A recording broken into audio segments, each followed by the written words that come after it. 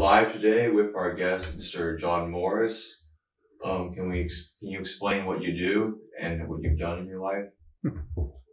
Thank you. Uh, I'm in the water business. It might say it's global, but uh, my granddad was big in the water business and I admired him, so I thought I'd follow in his footsteps. So I have actually consulted on water and sanitation issues on five continents around the world and many states in the United States. I've been active in the industry and of late I've represented the city of San Marino on the board of directors of the Metropolitan Water District, the largest water utility of the world. And that they provide the water supply, supplemental water supply for 19 million people, half the population of the state of California in the southern coastal zone. Yeah, so for the uninitiated, um, if you ever want to talk about California's water, which often is a topic of conversation these days, given the circumstances, this is a guy to know.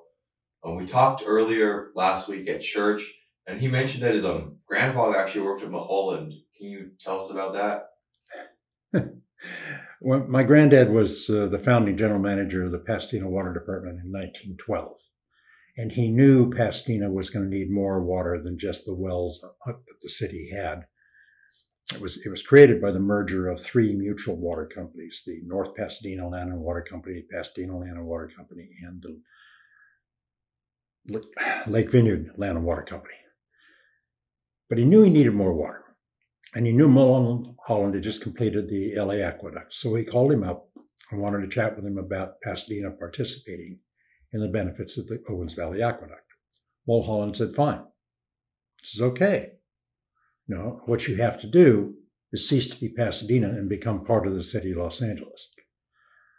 That didn't sit very well with my granddad or with the mayor of Pasadena because Pasadena was incorporated in June of 1886 as the first city incorporated in the county after Los Angeles. And they still value their independence today. So, did Pasadena eventually get the water from the California aqueduct? That's uh, not. They never got water from the Owens Valley Aqueduct, which was the Los Angeles Aqueduct.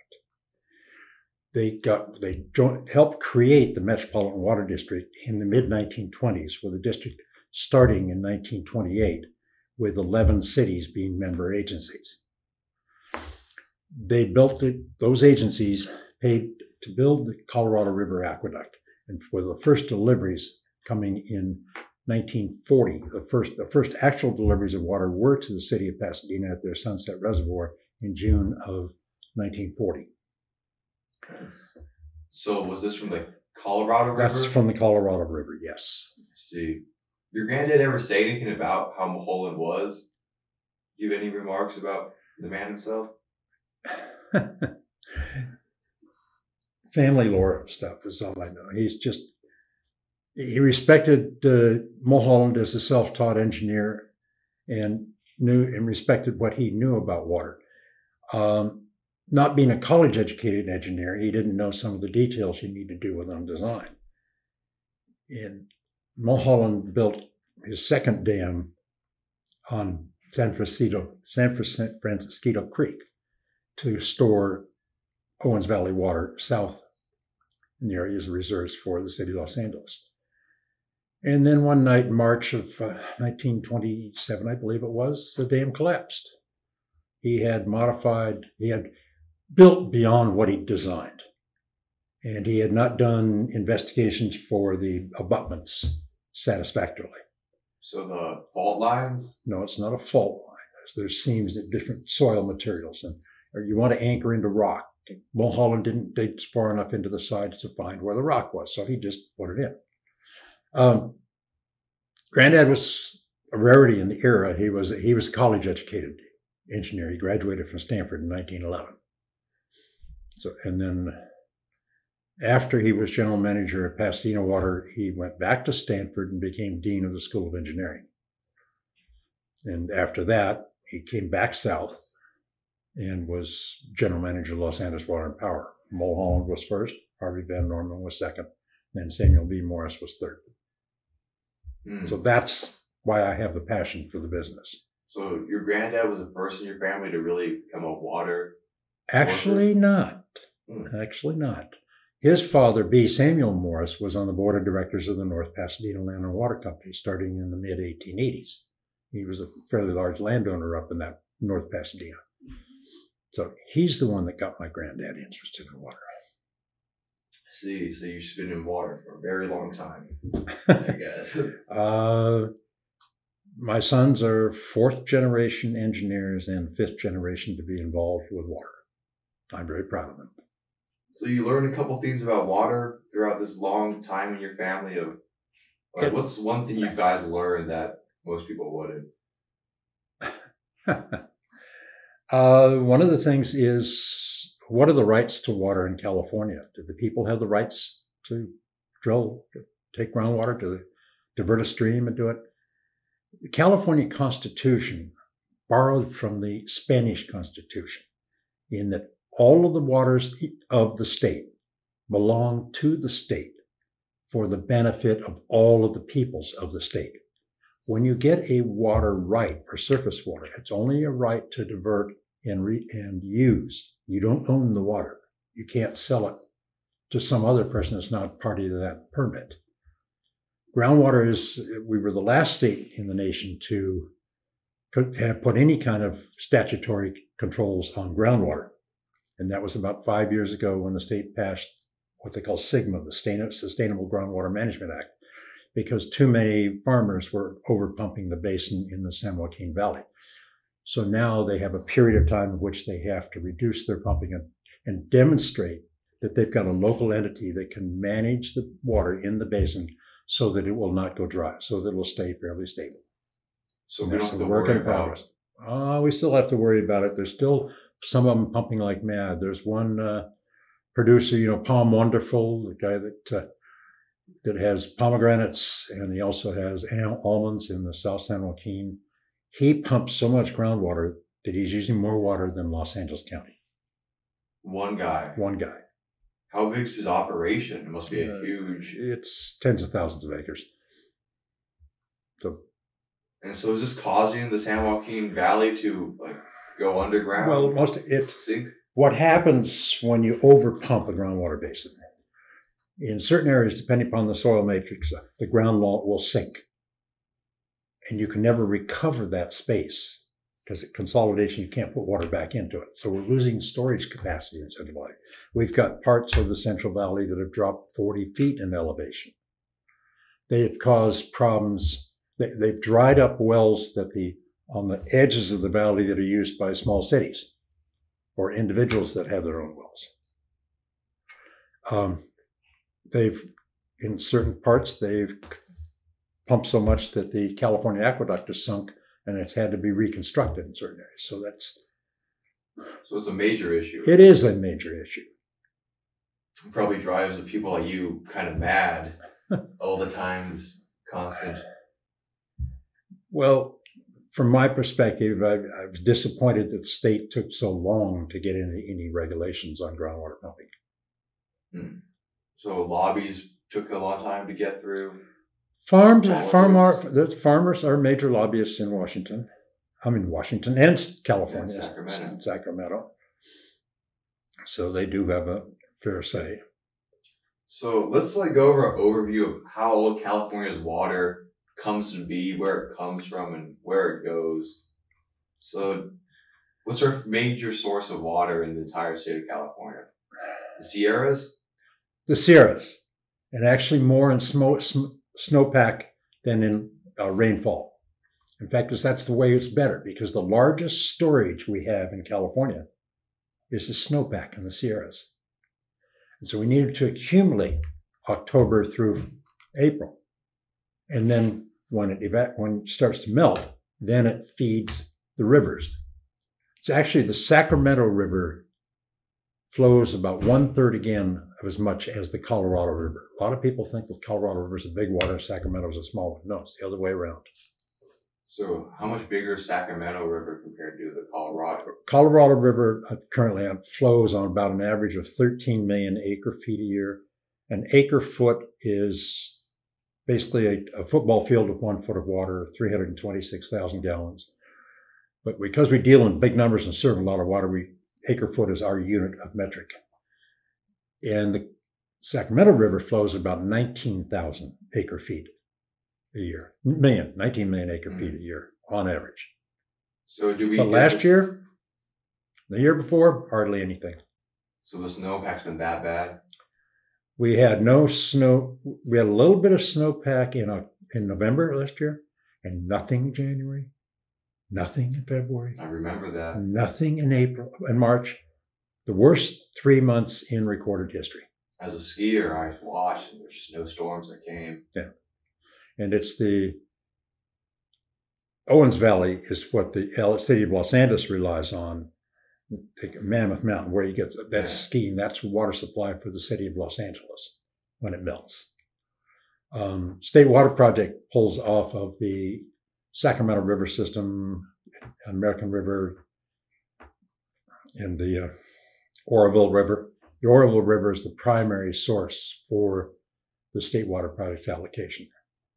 Well, I remember um, back in 2017 when we had a big water year, Mhm. the Owens Dam was almost bursting. They had a problem with the outflow, right? I was not, no that Oroville Dam. Oroville, yeah. Oroville Dam. Yes, they had it. It's you had an atmospheric river, which is it's like it's literally it carries as much water as say Colorado River, but it comes overhead in the form of snow, and and when it hits the Sierras, it, starts to let the water out because it rises up, the water clouds cool, and it rains. There was so much flow that it just kind of parked over Lake Oroville. And so several days it just poured on Lake Oroville. And The water was coming up much faster than they could release it. And Lake Oroville has a large, a, a wide emergency spillway on the north side of it, and it's got its normal operational spillway, which is you know. So when they realized they were going to have to use the emergency story emergency reservoir for the spillway for the first time, and the water started coming over, it started at the bottom of it, it started eroding, eroding the soil and breaking chunks of that uh, spillway. So they reverted to the primary spillway, and there brought so much water through there it caused cavitation in the bottom of the spillway, and that's when the, the base of it started breaking apart. But they still, so they stopped using that and went back to the emergency, and then they had more problems there. So they had to just sack, They basically realized they were going to have to because to, to lose the emergency spillway would would be much greater of a problem than to lose the main spillway. So they went ahead and just put it back on the main spillway, rut it down, let it break up the bottom of it and everything. But uh, that wound up uh, about a billion dollar repair project. I remember seeing the images. It was quite catastrophic. But the dam itself was never in peril. I see. But the all the spillways had too many issues. Would it have had issues with the dam? Because it the spillways were not you were not eroding the dam itself or even the foundations for the dam. So again, like I say, the dam itself, 770 70 feet high, the tallest earth-filled dam in the country, Earth and rockfill. It was safe. So just a minor cosmetic issue occurred. No, I wouldn't say you got a minor cosmetic. The, you had a major issue with the spillways, but not with the dam. So we're all safe at the end of the day. Yeah. I see. And so how much water do we typically pull off California's rivers, not the Colorado? And where do we bring that? Is that mainly Northern California getting fed by, say, the Sacramento and the, The- American River? You, you've got in the in the Central Valley, you've got two primary river, river systems.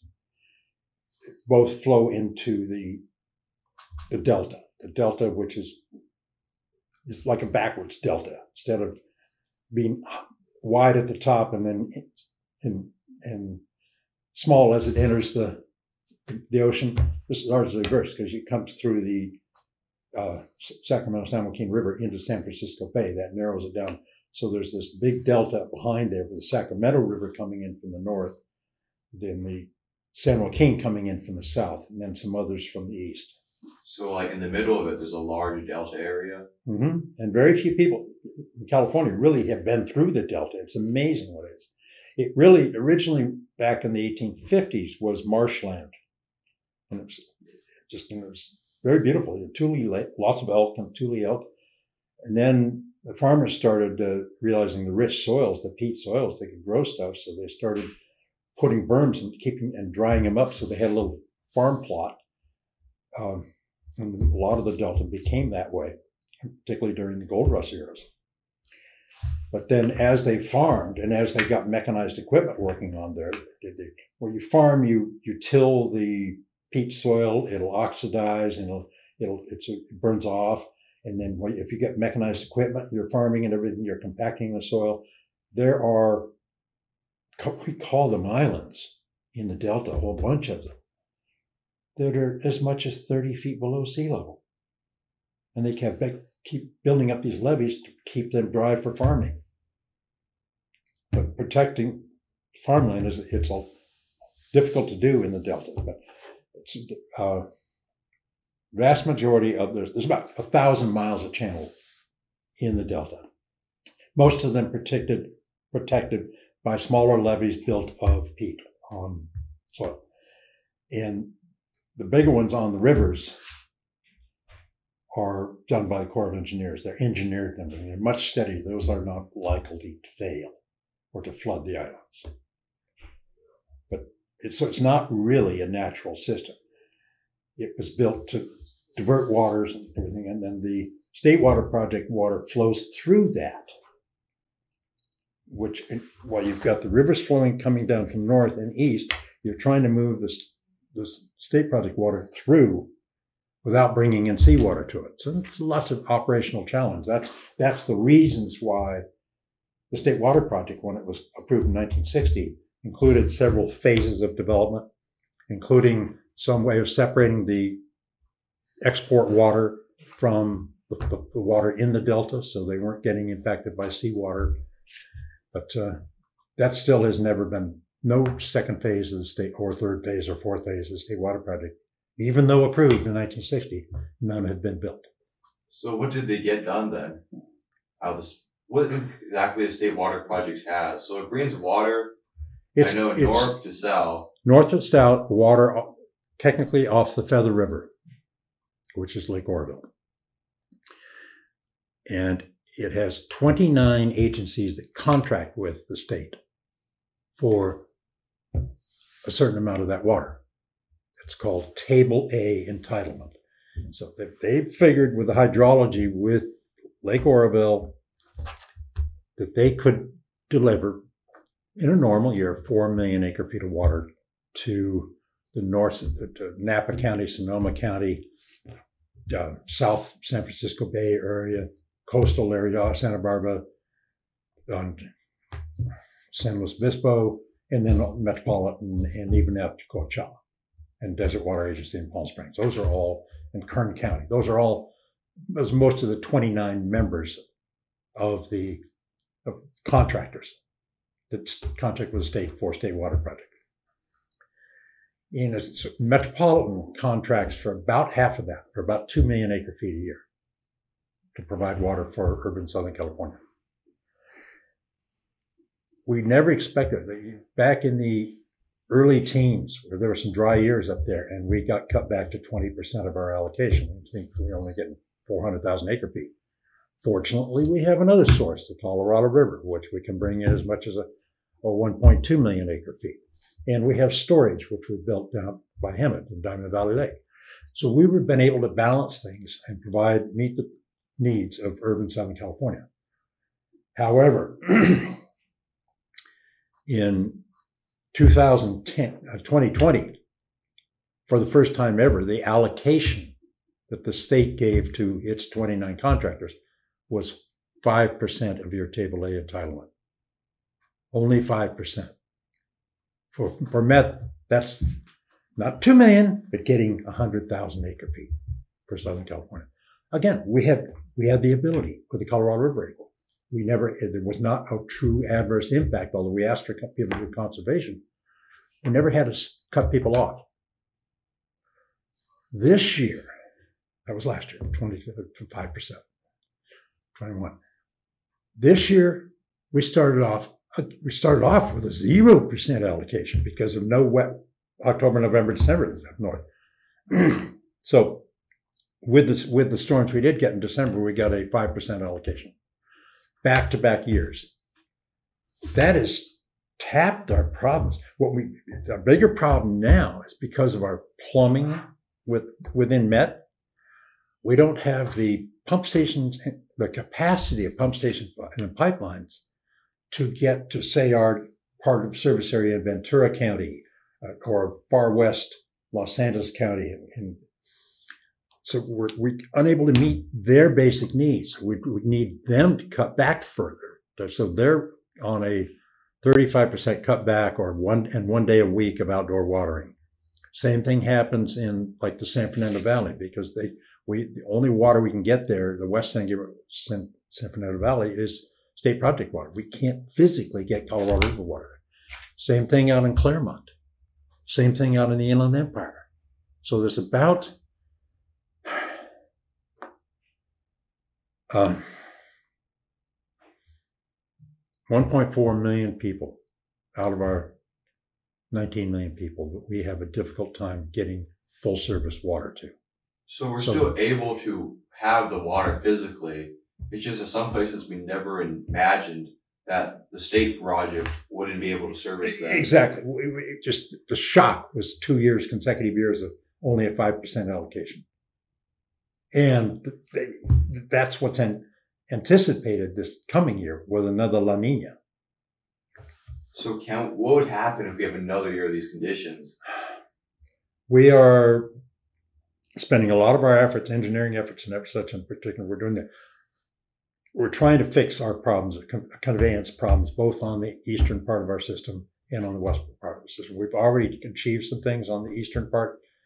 We've constructed facilities such that our treatment plant out in Riverside the Mills treatment plant, which was built and, and only would use state project water from the East Branch of the State Water Project.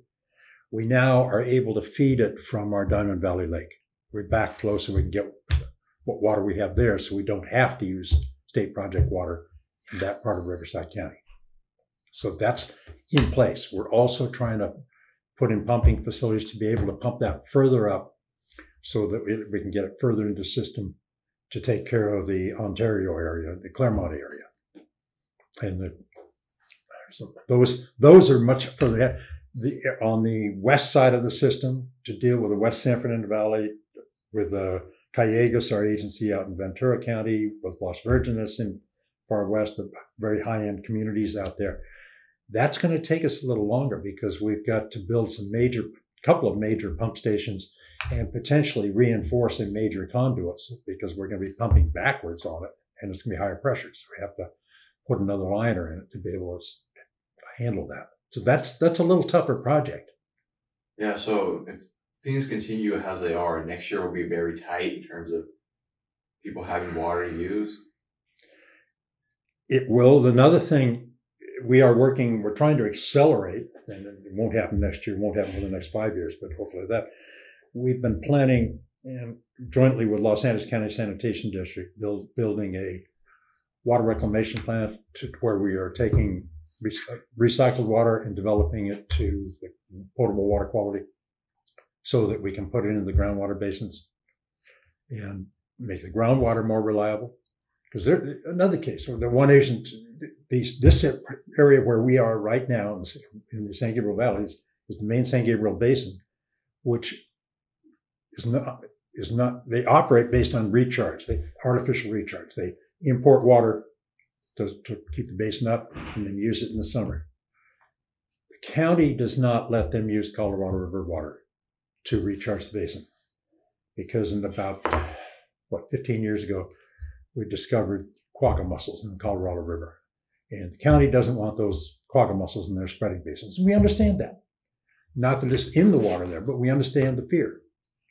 So that's why we're, we're trying to work with the regulators on that to allow them in the interim to do, because there's no state project water available to recharge it. So that's why they too are on the 35% reduction. So we're also in our area facing yes. reduction. Yes, same reduction. Or it's either the, the agency had the choice of going 35% reduction or one day a week outside, outside water. I see. So a lot of people complain about all like all the farmers getting a ton of water, and the cities are forced to cut back.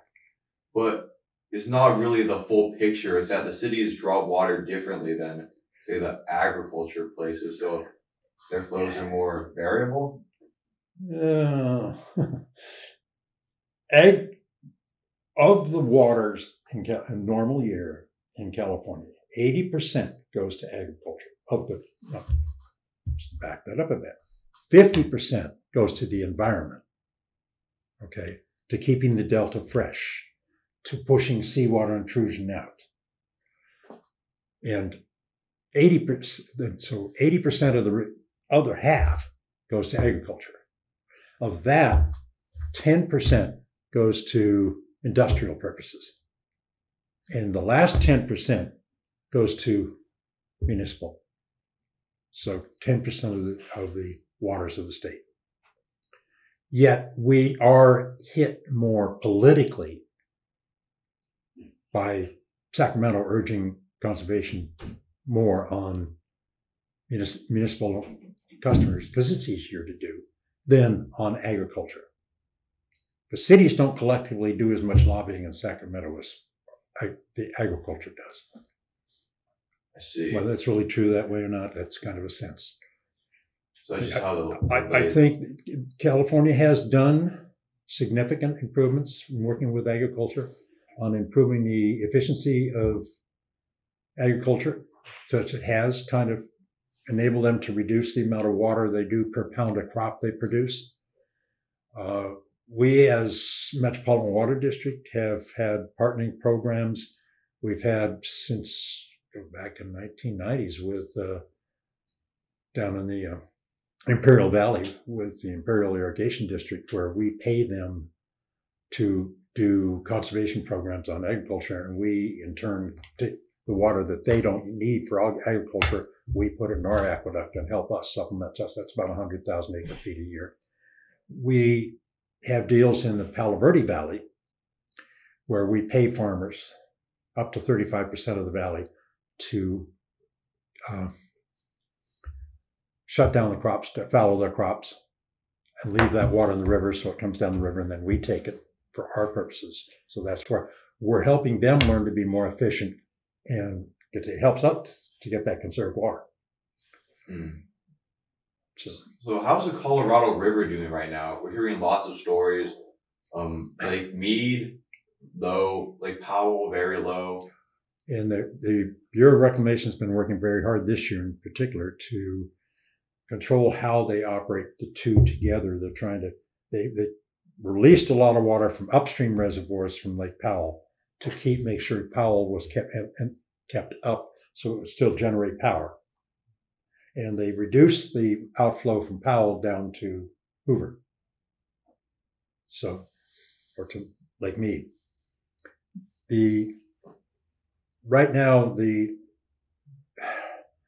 lower basin states on the Colorado River, which is Arizona, Nevada, California, and throw in Mexico, um, are on a stage one uh, shortage declaration. They have restricted, but California having the highest rights, priority rights amongst those, we have yet to be cut back. So we're the first in line for any water. That's correct. But we will, when it goes to stage two, and it will next year, California will be impacted as well.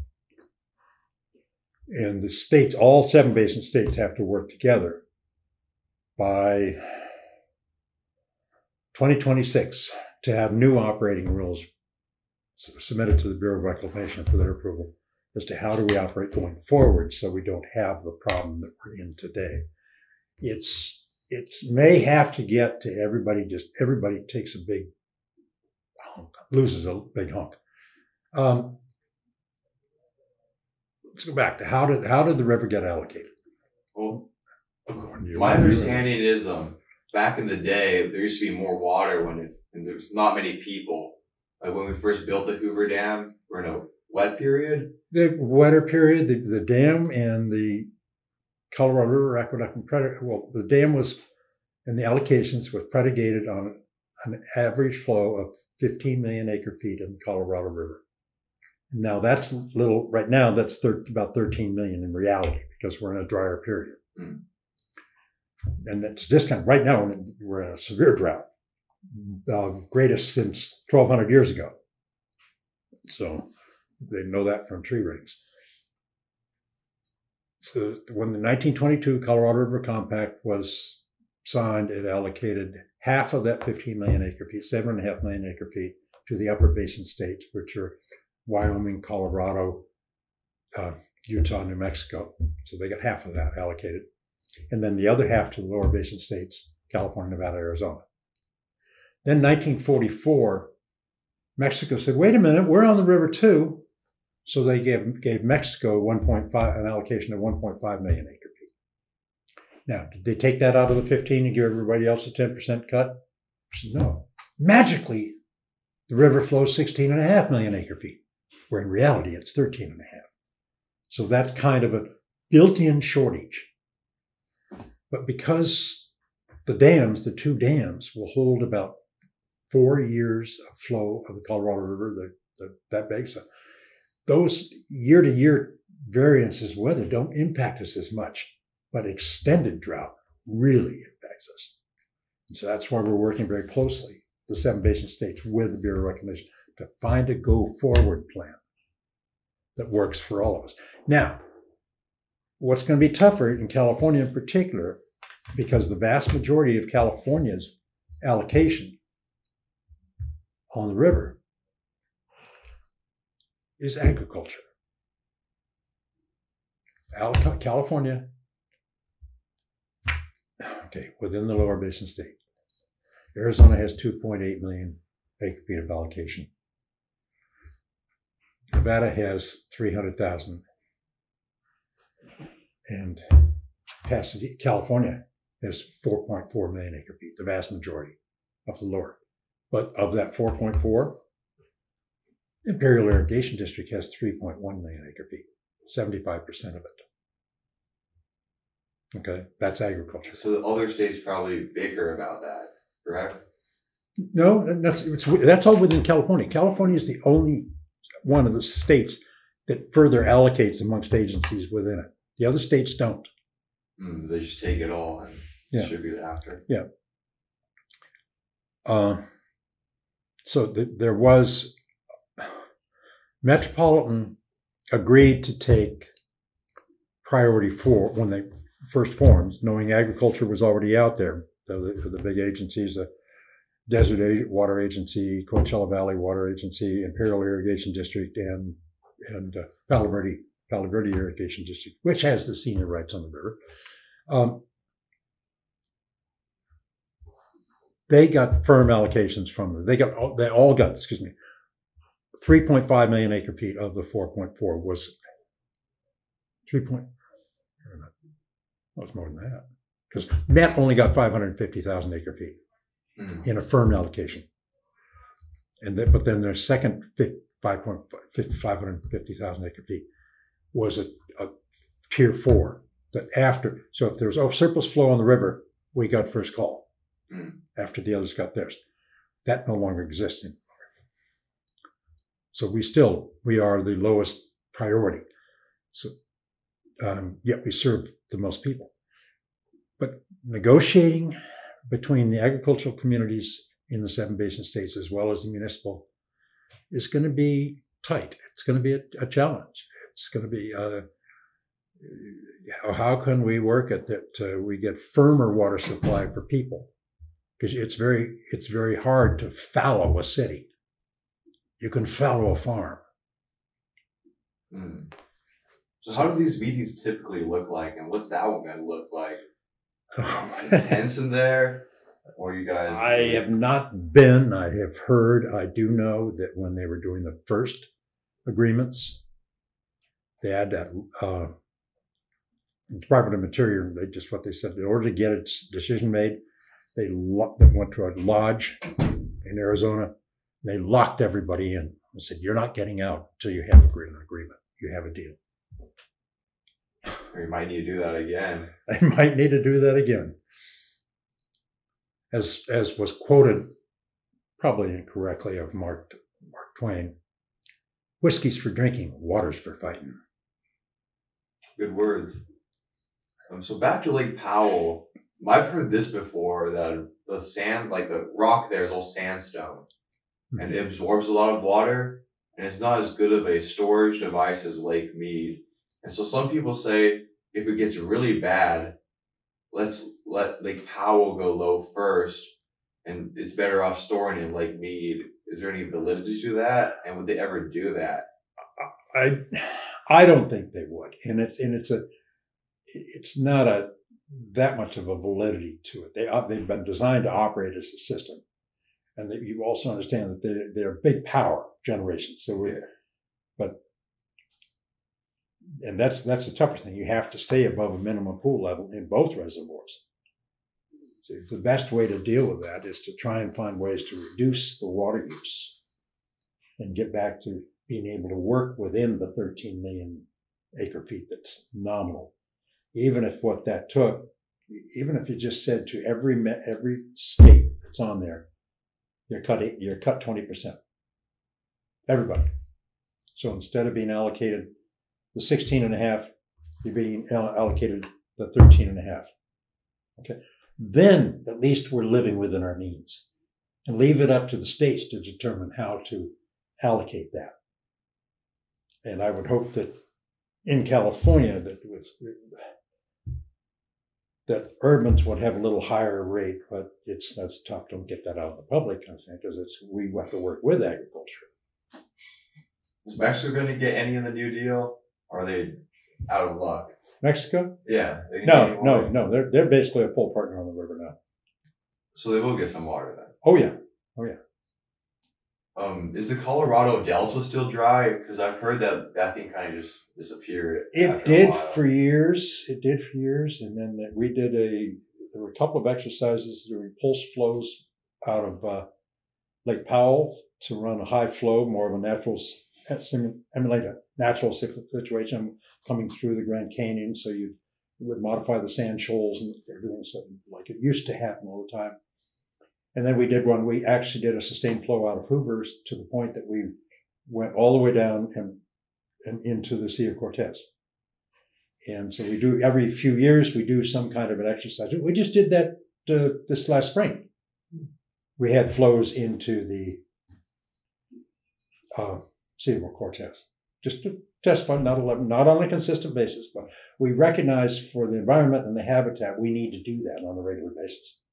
Hmm. So we that may have been thirty thousand acre feet out of the river or something, so not a big flow. Hey, interesting question. Um, what do you think about Hetch Hetchy? This is kind of sacrosanct for all the San Francisco dwellers and environmentalists. Was Hetch Hetchy such a great place to store water that was worth damming up? in the in the day it was it, it's a beautiful it was a beautiful valley just like uh, yosemite valley but maybe not as beautiful So yosemite was the first national park in the country John Muir actually preferred Hetch Hetchy in his own account. and john muir was actually i'm trying to remember the years i think yes, yosemite predated john muir because that was in the 1860s i believe when was made the first national park late 1870s whereas john muir was Yellowstone. yellowstone Yeah. Yellowstone was a national park. Yeah, that's right. But no, Yosemite was. Uh, Yosemite was. But uh, Hetch Hetchy was picked by Clark O'Shaughnessy, who was the chief engineer for San Francisco Water Department. That's why it's called O'Shaughnessy Dam. Uh, at that time, there was not the environmental movement other than John Muir, who even came down here and did talks here in Arcadia. Hmm. Um, that uh, that's so Clark O'Shaughnessy was the Mulholland of San Francisco, but he didn't do environmental. He didn't have dams break on him, and it was that was a concrete gravity arch dam, which well, so was Santa Santa, so uh, Mulholland's concrete gravity edge. Um, No, I, I have no issues with San Francisco and Hetch Hetchy. I, I I don't think it's being a realist to say tear down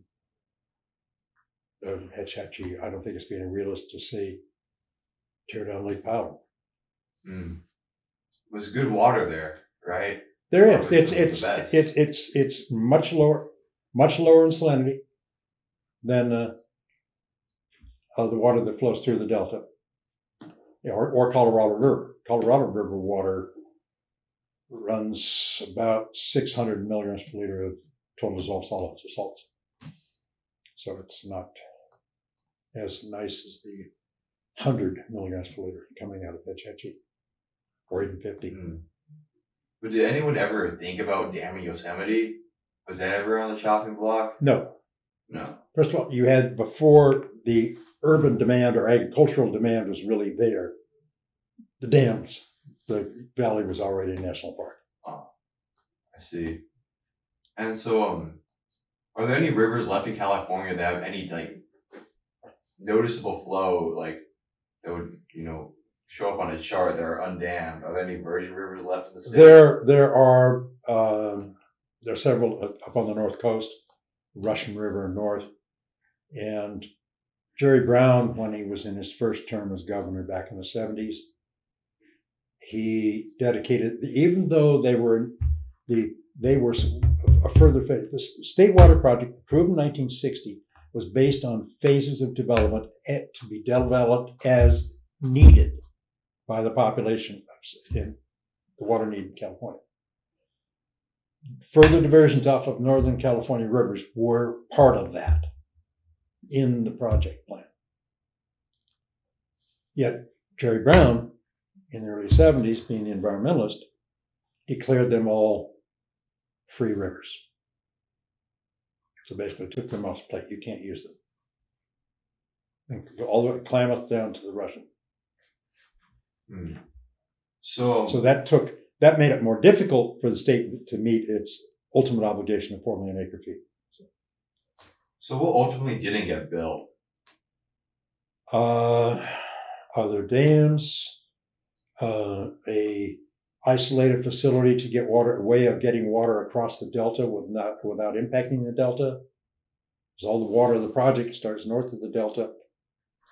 It's, it's got, I like this analogy. California is like, water in California is like a bald headed man with a full beard. It's not a problem of production, it's a problem of distribution. A, Two thirds of the water in the state falls in the northern third of the state. Two thirds of the dam under the water demand is in Southern California, agriculture and urban. So you're, you're mixed, mix, mix, mismatched. But so that project was trying to, how do we work that to be able to balance and make the rivers flow further south? That they originally had the peripheral canal, which was defeated in, eight, in 1983, even, even though it had been proved in the Burns Porter Act in 1960. Jerry Brown wasn't comfortable with that, so he put it on the on the ballot, and it lost because Northern California voted 90% to 10% against it, and because it's, uh, San San Francisco people are born and they're saying they're stealing our water, they're stealing our water. Uh, but in Southern California, only 60% voted yes, even though we have many more people. It caused it to lose 54 46. But, but it's it, in reality, in my book, in the environmental side of it, it was a good thing it did fail. Hmm. Because if we did do the isolated facility around the side of the delta, called the peripheral canal, it would have been devastating for the salmon. Because the way they were going to do that is they were going to, they were going to put outlets along it to replicate the flow from the eastern rivers, which would, would have been dammed, like the Mokelumne and the Stanislaus, and different, different rivers there. And salmon follow the scent of the river to go up to where they were hatched to reproduce. They wouldn't know where to go. Hmm. So it's a good thing they didn't. That's why the alternative people looking at doing is doing isolated facilities going through tunnels underneath the delta, which would not have an impact on the environment in the delta. But again, you've got you've got the opponents, the Sierra Club and such. Uh, the reason there's a lot more water that go, comes in and surges, like when you get an atmospheric river uh, in the watersheds in the Sierras. But almost all of that ends up going out to the ocean.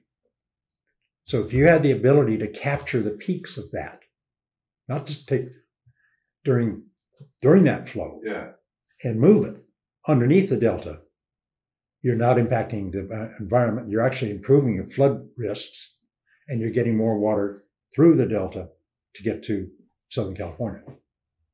So that's what's being looked at again in, in a different mode. It gets a governor approves it, a new governor comes in and says, "No, I don't like that way. Let's spend another half a billion dollars to look at another way."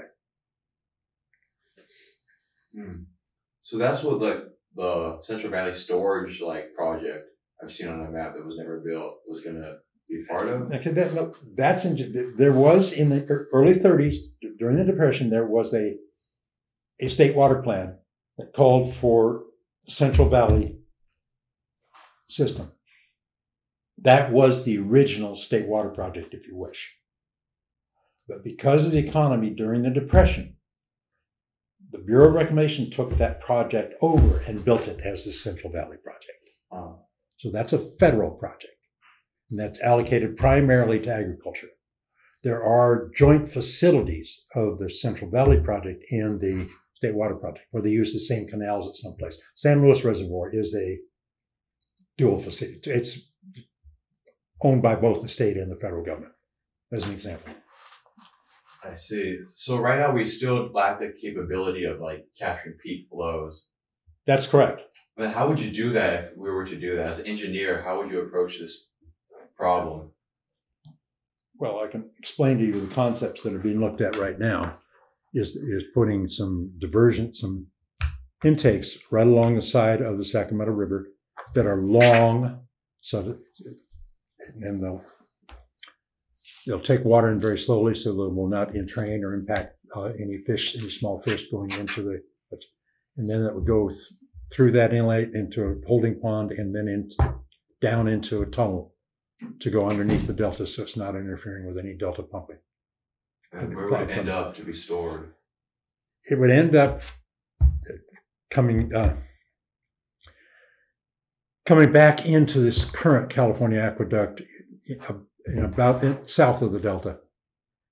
The, there's a couple of alternatives as to which way to go. Go use the facility we're using right now, or go to another one that are being looked at. Environmental studies are underway right now. And then it goes, it just comes down the rest of the aqueduct south of the delta. But it's just as a way of getting water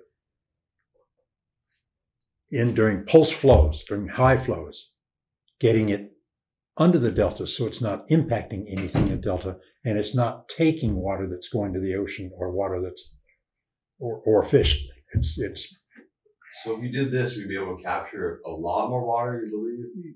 You we would capture more water in a typical year, more than than what we're losing now. Mm. Yeah, it it could be significant. It's half million, million, million and a half acre feet in a year. That's a lot. It's a lot of water. To take it. Well, let's look more locally. Um, okay. How much water does the San Gabriel mountain range, San Bernardino mountain range really do for us here? Well, I, let me talk first to the San Gabriel range. Because um, you get higher rainfall in the mountains than you do on the flats. Yeah. If you look at all of the incident rainfall on the San Gabriel Valley, from the mountains down, go and the, and the San Gabriel River, Rio Hondo, they do a better job of capturing water and putting it to beneficial use than any other area in the country that I'm aware of. About 80% of incident rainfall gets put to beneficial use. Mm-hmm. Part of that is just naturally charging, recharging the groundwater basin.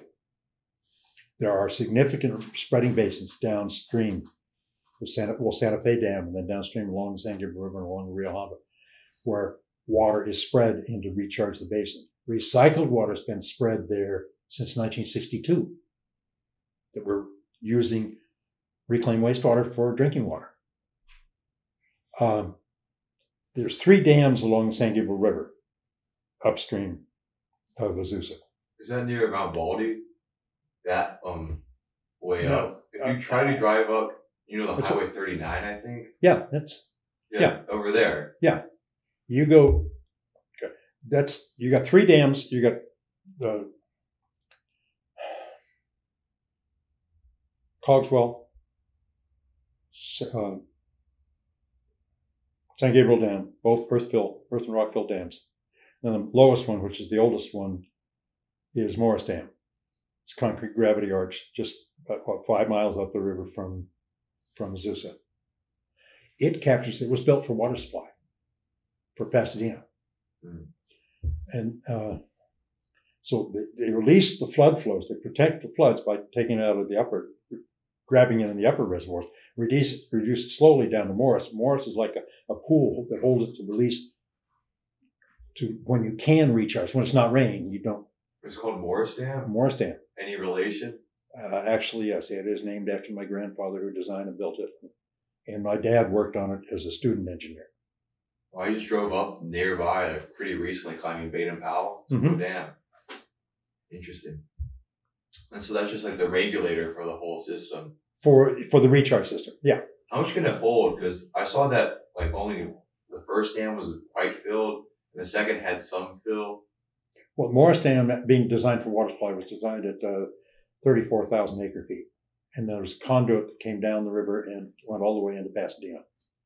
And so the other two, um, they're not really for storage. They're, no, they're for flood control. They're to reduce the peaks on the river coming down. Ah, I see. And is the snowpack significant in San Gabriel's? It not as much as it used to be. Um, we've had snow here on the ground. I remember it. You remember the last I remember the last time, and I grew up in Like- Pasadena. 1950s? Uh, no, didn't make that. It was January 12th, 1949. And my mom told us kids that the next time it snows, we won't have to go to school. I'm still waiting. Before that, did it snow more? Yeah, it, it did. It did. It's it snowed twi- on January 11th and January 12th, 1949. It snowed the winter of 32, 33. It snowed the winter of 16, 17. It's about that frequency. So it's pretty rare. Yeah, it's not like every year in the Rockies. Your, your, your mountains, mean, uh, Mount Baldy is 10,000, Mount San Antonio technically is a little over 10,000 feet. Mount Baden Powell is about 9,000 feet. The one next to Mount Burnham. Burnham was a buddy of Powell. He's also my great granduncle. Mm. So, Yeah, and even up like you go, um, where used to ski resorts nearby Waterman, that's around Mhm. seven, eight thousand feet. yeah, and, and being on the north slopes, it lasts longer because it doesn't get the incident sunlight. But it's just not as much. Because I hear a lot of like older people, they used to talk to me who ski often Waterman. Yeah. It's a prime spot. Yep. And now it hardly opens. Yep. And during COVID, it could have opened, but COVID happened and it. Oh, Big Bear was open. Mm. And so, It's higher. It's a, Big Bear is the, Yeah. the lake's at 7,000 feet. yeah, and like Baldy ski resorts, 8,000 pretty much. But so then how about the San Bernardino Mountains? Where does that water go? uh, just goes east down to the Santa Ana River. It can be, and then or further east, it's on the San Jacinto. The San Jacinto uh, from Mount San Jacinto, some of it will go through Lake Elsinore, and and then ultimately ran back on the Santa Ana River. The greatest, in, in that respect, the greatest flood risk actually today for, for urbanized Southern California is the Santa Ana River down in southern in Orange County. So if we get like some big rains, that thing would be treacherous. It, it could be. That's why there's been major improvements being done by the Bureau, the Corps of Engineers on the Santa Ana system. Mm. So how does San Diego get its needs of water? Because we're pretty south, but we still have some mountains. San Diego, there's no snow. That's correct. There's less there mountains. was a very little bit on the, like uh, Mount Palomar. yeah, I've seen a little bit you can get there, but Yeah. pretty Uh, much. San Diego during the war borrowed water from it got Metropolitan to extend its aqueduct down into North San Diego County so that they could get water to support the military infrastructure that was needed in, in San Diego to fight the World War II. The, the Department of Interior told San Diego in 1945, look, you've got water rights on the San River, on the Colorado River. I think it was 112,000 acre feet. You need you either build your own aqueduct to, to get that, or join the Metropolitan Water District so you can use their aqueduct so that you have a reliable water supply so you can still have the military presence. That was the edict of the federal government. So it was a shotgun wedding. Why San Diego County Water Authority joined Metropolitan. And they're still griping, still complaining, and suing us. We're in court in San Francisco today. Mm. They want a better deal for San Diego. Well, I heard they built the desalination plant and they're not the, turning it on. Oh, it's been operating since it was completed. It's a it's a 50 million gallon per day um, membrane process, reverse osmosis in Carlsbad, right adjacent to Encina Power Plant, which is now shut down. So they use the intake and the outfall from Encina for the plant. Uh, that project, I remember being in the 90s, where the, the Water Resource Master Plan for Carl, Carlsbad Municipal Water District recommended the city look into seawater desalting as a part of their, their water future. I wrote that one. Um, but what I didn't like about it is the Poseidon as the developer. Poseidon is a conglomerate of people that want to make money, and they package the planning. This firm will do the planning. This firm will do the engineering. This firm will do the construction. And they did that first in, in, in for a small 20 million gallon a day plant in uh, Tampa Bay, Florida. And even when they're, they're testing the way they're going to do the filters ahead of the of the reverse of the membranes, and somebody comes when they're getting into construction, somebody says, "Look, I can give you the filters cheaper." I said, "Okay, we'll do it," even though they've tested the others. When they built it, it didn't work. The filters they, they, they couldn't keep the filters. It was a mess. Tampa Tampa fired them. Then Tampa found out the biggest problems they had, and it cost us over 100 million. Cost them over 100 million to fix Poseidon's problems. Three major engineering companies went bankrupt. Companies that have been around for decades, 4,000 man companies, bankrupt because of Poseidon's practices. I do not like Poseidon. They did it for, for their side of the business in California. They made an excellent business plan. Remember when we had the uh, energy deregulation back in the 90s? Where all of the well, I was in Brown back all, already all the investor-owned utilities had divest themselves of their generation.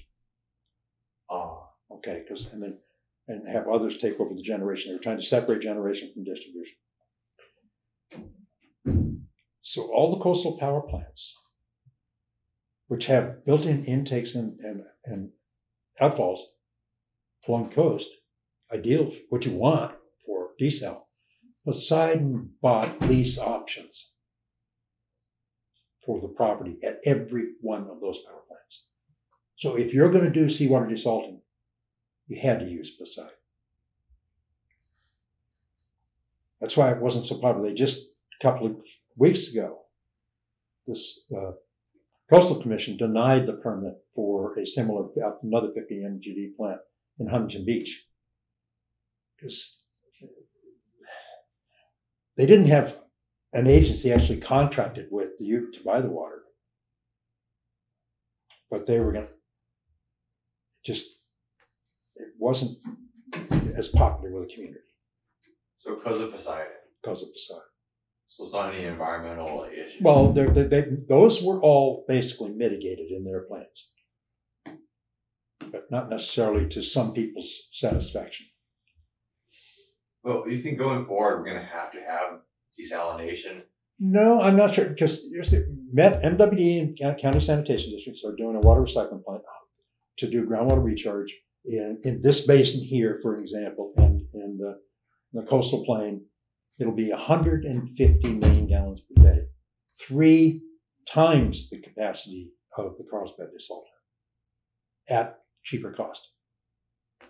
So saltwater is your last resort. It it kind of and and financially too. It it costs San Diego County Water Authority. I think pays about twenty four hundred dollars per acre foot for the Carlsbad plant. At the same time, they buy water from Met at thousand dollars an acre foot, but Met water was too expensive see. because it didn't belong to them. So one word we hear a lot these days in water is climate change. What's the overall impact they're saying it's gonna be on this area? Are we gonna get drier like permanently? Do we know? we have conceptual visions of different ways it's going to happen. It is changing. The climate is changing. And it's changing primarily through, through wider variations, more extremes in a given period, and in general, warmer. What that does eh, from us from a water supply issue it has an impact on the level of the snowpack in the Sierras. That's gonna that's gonna happen. That is our largest storage. That's how do we mitigate that? How do we replace that storage that we lose from the snowpack in an environmentally responsible way? the biggest thing we hear, and, and I agree, of, let's find ways to get it into the groundwater. But you, it, it comes in gulps, gulps. It comes in big quantities. You can't put it into the groundwater fast. And you can only put it into groundwater when it's not raining. So that's finding ways around that as to how to cost effectively and temporally effective get that rain now or snow, melt or snow melt into the groundwater as, a, as our best storage to help solve the Central Valley projects, to help solve the overdraft in the San Gabriel Valley. But it's not significant, not a great amount in terms of the total water that falls on California. So we're good with the amount we're getting. Even But it's coming in, it'll be coming in the form of rain in higher bursts and less frequently, but similar quantity over less years. snow. Less snow. Mm. So then, um, if you had a shopping list, you were given unlimited budget, and politically there wasn't any issue, what would you choose for satellite to be built in the state that would solve our issues? the ability to capture water at higher flows and move it around the state with minimal environmental effects, such as going under the delta, that kind of concept. In the de- south of the delta, in the San Joaquin Valley, I would look at trying to work with the the eastern part of the valley, right where the hills come down. So maybe you're at an elevation of 500 to 1,000 feet, creating um, spreading basin areas along the basin. Let let the, the rivers that are coming down, so let them widen out and maybe start to recharge that San Joaquin Basin. And it's it's much more on the east side because that's it's the Sierras that cause the rainfall through the or orographic lift, you're cooling the water, than the coastal range. So you can capture more of that rain, or even melt snow melt what, and get it into the groundwater. It'll and hopefully you still have capacity in the groundwater basin. But that's that's to me is probably the biggest thing. Years ago, years ago, I, I had an idea that in terms of seawater desalting, this is pre-Poseidon. I'd never heard of them, and I just again going back to California's problem of distribution. Most of the water's in the north and the needs in the south. What if you built a near coast? You built a pipeline buried on the on the seafloor maybe two miles offshore, that may be 30 feet in diameter. And every place you have an opportunity, from Fort Bragg to San Diego, or even down to Mexico, you build some coastal seawater desalting plants. And you put the water in that pipeline, and it's a distribution line for anybody along the state to bring in and use the economy of scale. We did, uh, um, Met did research in the 90s on thermal technology and looking at adva- advancing thermal technology for seawater desalting. So use geothermal. No, no, it just it, it uses heat. It's it, it's it, basically it's boiling water. You boil it at lower pressure. So we're looking at doing a vertical tube evaporator, 30 effects. The water would start hotter up at about 200 degrees at the, at the top, and, and it would condense and keep condensing. You keep lowering the temperature, keep lowering the temperature. So whack, you still be generating water because of lower pressure Yeah. you generate water at 100 degrees. And you we can think when we were looking at that, we and doing the economics evaluations with membranes, reverse osmosis versus what we could do that for. And our calculations showed that if we did something that was 25 million gallons per day, we could compete very readily with the cost of our reverse osmosis at that time. But we were looking at doing the plants at hundreds of millions of gallons per day would be significantly cheaper than reverse osmosis. But membrane industry has more more power. So Don't mess with our business. So I see like the challenges in the water business are as much the human challenge as the physical challenge of collection and rain. And part of that is conveying a message as to what are the physical challenges and how can we mitigate those to a degree that the public understands what that is, what the implications of it on humanity and the environment. Hmm. One more thing, just curiosity. So you know the Salton Sea, right? I do. That formed in one year, Two years. two years. Two and a half, actually two and a half oh, years. Like there was a big flood, right? Well, the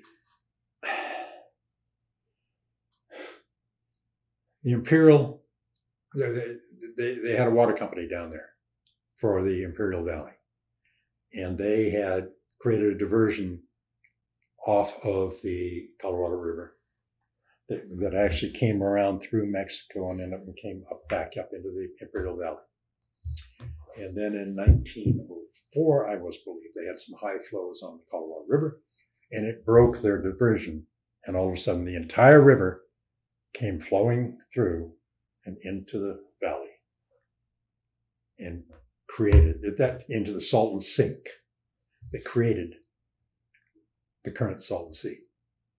Uh, actually, that's a relative unique because te- technically that is part of the Colorado River Delta. It's below sea level, 200 over 200 feet below sea level.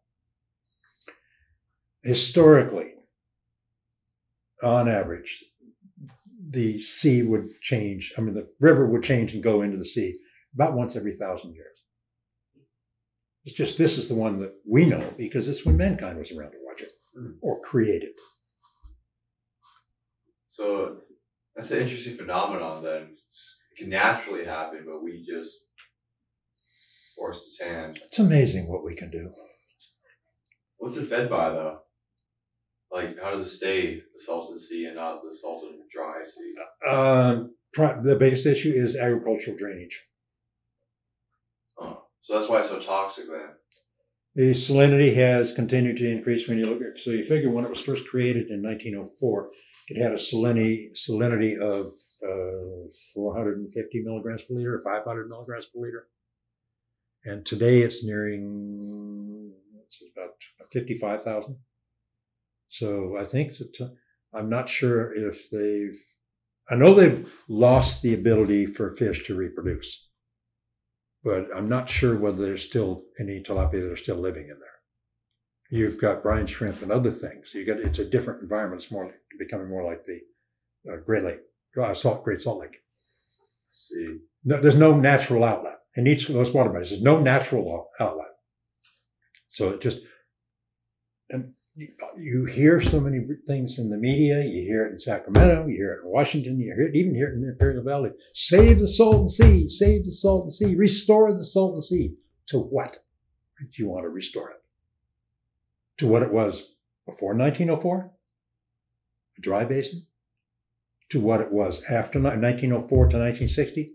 Or from, excuse me, the 50s? A beautiful resort? Water skiing races on a regular basis? Which, what's your vision of it? Because it's an entirely different solution to get to those, neither one of which is cheap. Can we make it back to like the golden eras of ski racing there? You would have to get, there's an adverse salt balance. The, because the salt, uh, the Colorado River is fairly salty, very versus the state water project. And agriculture adds salts through its process and such that it's got an adverse salt load of 4 million tons a year. How do you get that out? I don't have a solution for you. Distillation. You're going to have some huge, mine the salt, distillation. It's extremely expensive because it take a lot of time. Physically, technically, could it be done? Yeah. And maybe there's some value to the salts. Well, they're looking. One of the other things they're realizing is they've got some salts of the different selenium and, and others down there, and they've got some uh, power plants that operate up geothermal power plants that they're going to take their waste stream and they're going to they can we can create chip factories down there because we get the minerals that you can do your your chips with. They're Well, doing some the works on that. going forward. But that's that's just dealing with the deep groundwater, that kind of, and, and doing that because it's hot and it's been thermally. Um, it's very expensive to get that out. And is it worth it? I guess that's a lot of questions with the water issues in the state. But looking forward to the future, um, right now, are they doing any like seeding of the clouds in the Sierras to increase They snowfall? are, yes, they are, and they're doing seeding in the north in the Sierras. They're doing seeding in the in Utah, you know, in the, uh, in the northern Rockies. There are measurable quantities of water being generated, but not millions of acre feet. Is there any way where we'll be able to like directly influence the weather way out in the in the future? I guess. We have been since we've been planted on the planet. The actions of man have had huge effect on the development of the weather patterns, not necessarily for the good. Well, we'll leave it at that. Thank you for coming on. I really appreciate it. You're very welcome.